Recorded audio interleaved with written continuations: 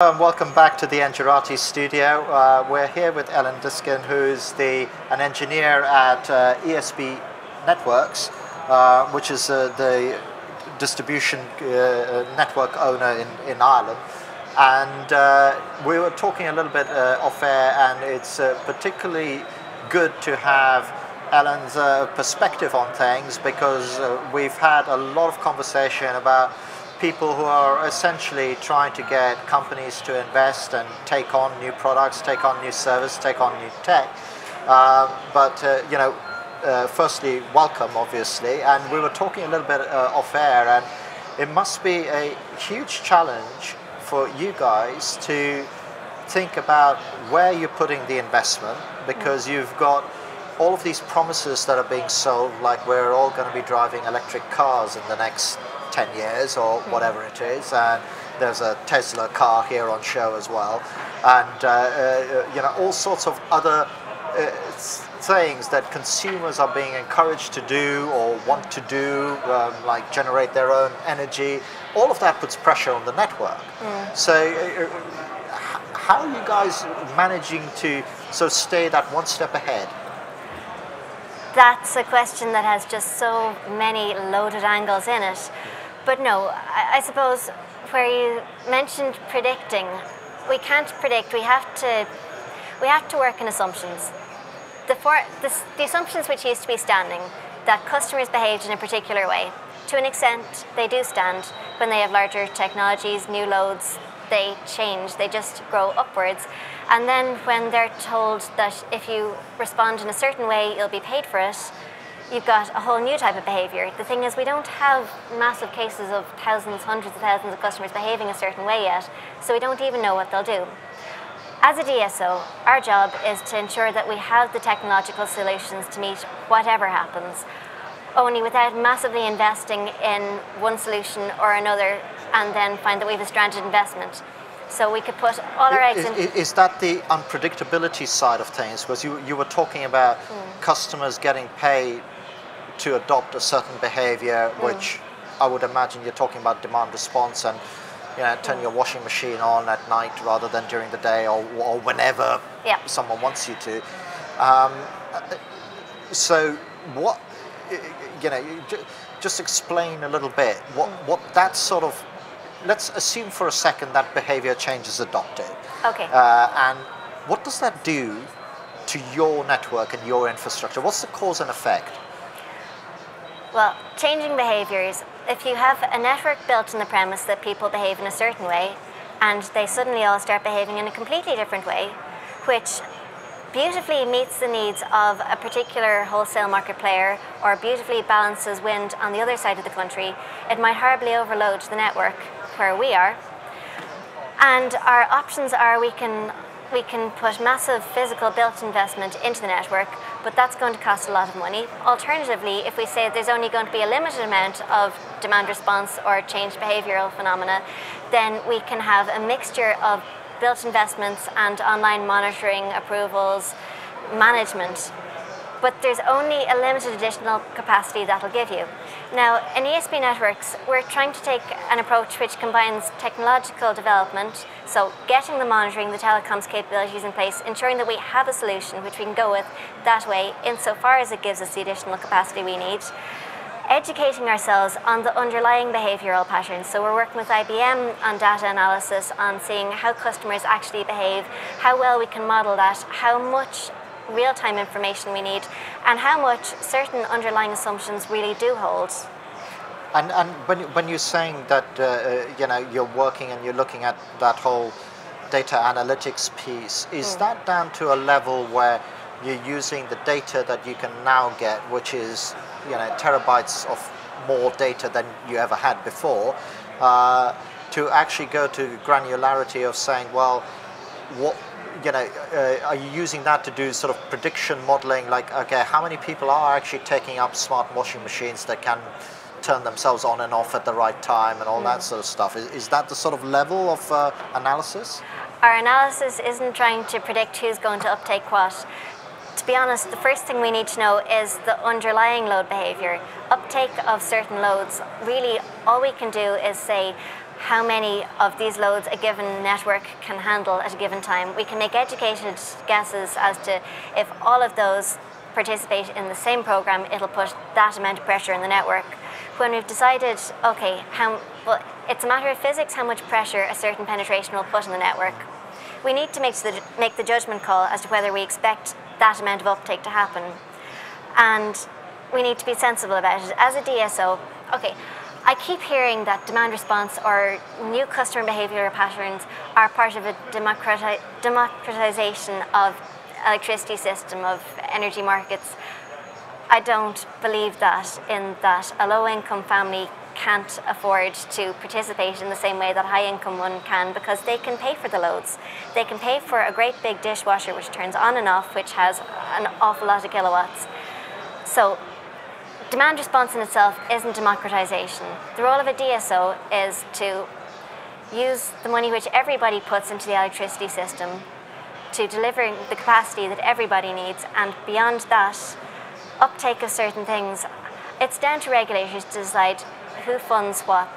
But as a DSO, we find the technological solutions. We can, we can do a pilot where we say, okay, here is a monitoring and control system. Here's the additional capacity you get it. Alternatively, here's the cost of operating that network. We can tell you that once the penetration of demand response of electric vehicles, of storage heaters on that network hits that percentage, no amount of online management will give you any response because everybody else's underlying load has grown up. Regulator. Who pays for the network?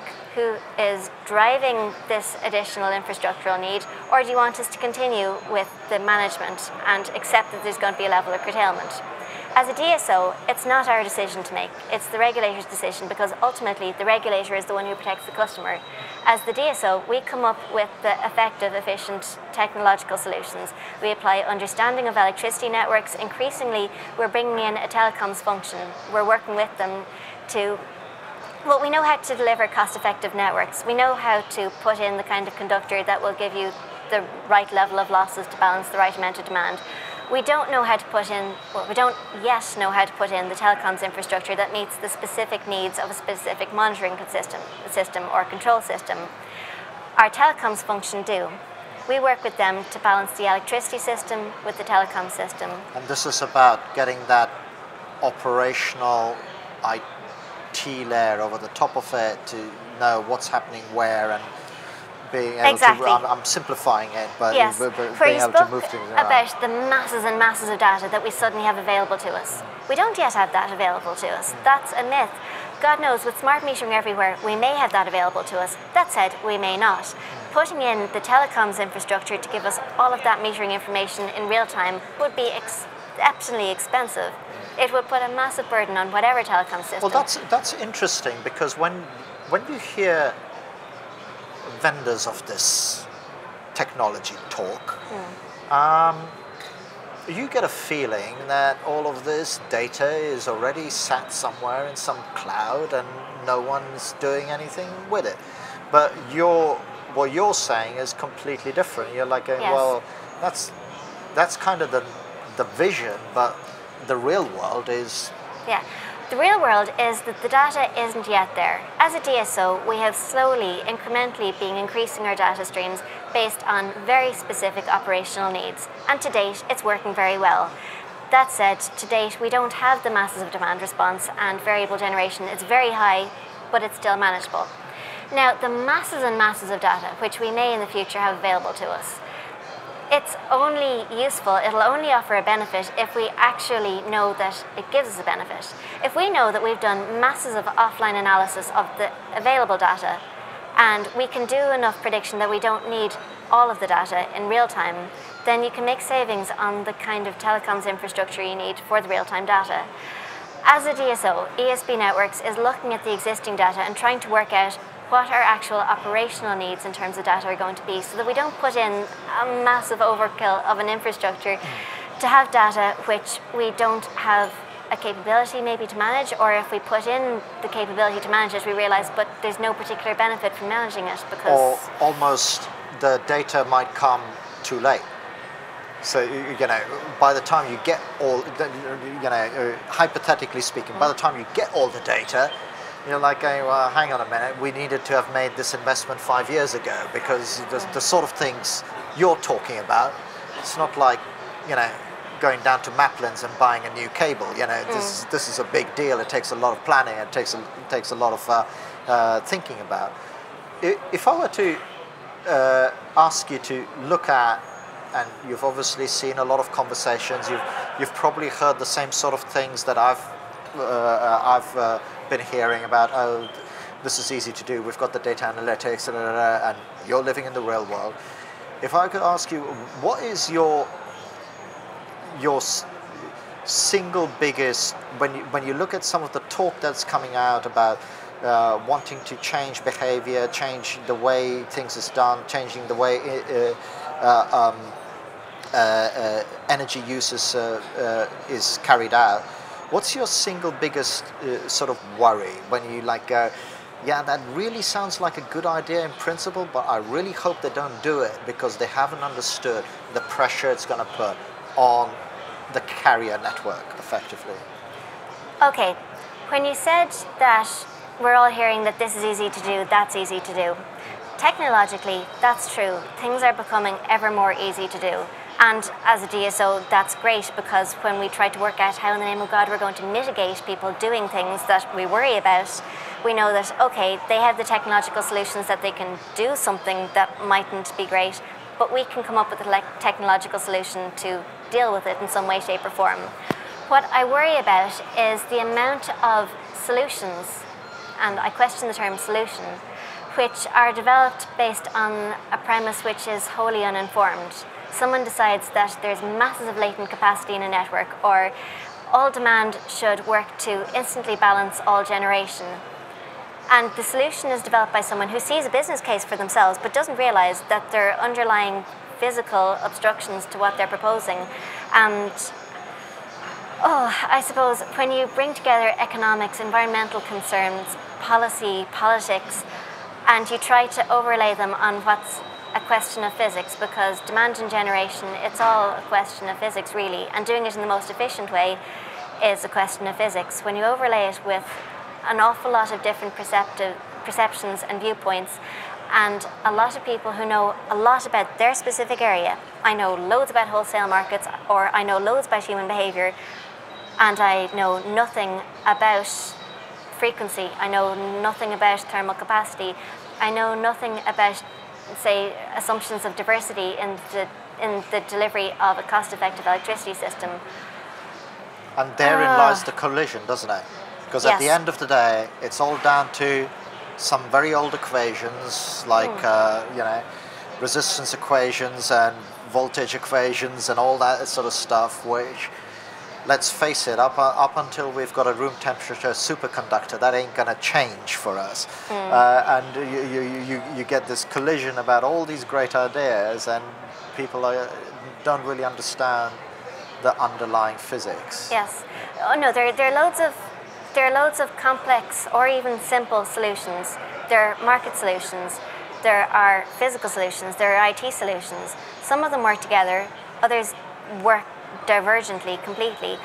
And they're all being developed without people maybe questioning why. What's the aim?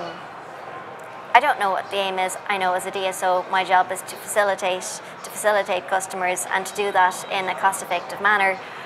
But I do worry about the amount of solutions to problems which may or may not exist and which have ultimately massively divergent objectives and outcomes. And which at the end of the day put a, uh, put a uh, different pressure on you guys because mm. as you said earlier, we may be building an infrastructure we don't need. And we may be building an infrastructure we, we don't need. We may be building an infrastructure we do need. Regardless of whether we do or don't need it, someone has to pay for it. Who pays for it is it the person who's driving the need? Is it the person who happens to be present on top of the person who's driving the need, thus also using the same capacity? I don't know. There's a lack of clarity around any of it and a lack of awareness on the part of an awful lot of players in this. Well, that's, uh, that's kind of what happens when you get a collision of uh, people who've uh, you know, perhaps had data analytics solutions in a telecoms world and understand that market and they're entering into this. But forgetting that we aren't moving packets of data, we're moving mm. electrons from A to B, and that doesn't really work the same way. No, no, you, you can't schedule. No, can't, can't schedule, schedule, it. Can't, can't stick an IP address at the beginning and the end. Moreover, you even if you could schedule the electrons, you can't schedule human behavior. You yeah. can try to influence it, you can't schedule it. Yeah, no, absolutely. It, it, look, we've come to the end of our time here in the studio. Thank you very much for talking to me, and, it, and it's been really good to get a view from I, what I call the other side of the fence. And uh, thanks for taking the time. And you're, speaking tomorrow, is it? Or yes. Uh, yeah. yeah. Okay. So uh, enjoy that. I'm sure it'll be a very informative talk. And uh, thank you as well for watching. This has been uh, the last Engerati interview for day one. And uh, we're probably off to have a drink. And uh, for you guys watching online, help yourselves to one as well. Thank you.